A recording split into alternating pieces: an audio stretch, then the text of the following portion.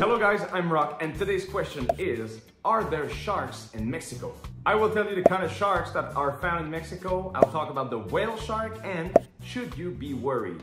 Yes, there are sharks found on the east coast of Mexico and some of the species found in these waters are, I have them here, the reef sharks, looks like this, the nurse sharks, bull sharks, and sometimes the tiger sharks, and some of unharmful sharks. One shark that you should not be afraid of is the whale shark. Well, it's not really a shark, it's a fish. In fact, it's the biggest fish in the world, up to 40 feet. Basically, they are the filters of the sea. They mostly consume planktons and small fishes. So they are no harm for the human. You can in fact swim with them from May to September and you will find guided tours in Cancun and Isla Mujeres.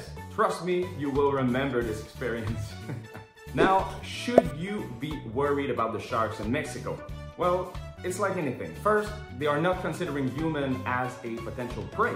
The incidents are extremely rare, but guys, follow the local advisories. It's like, is driving your car any safer? Is doing MMA fighting any safer? So this is it guys about the, the kind of sharks you will find in Mexico, the whale shark, your worries, you have everything in this video. If you like it, follow us for more information about living in Mexico.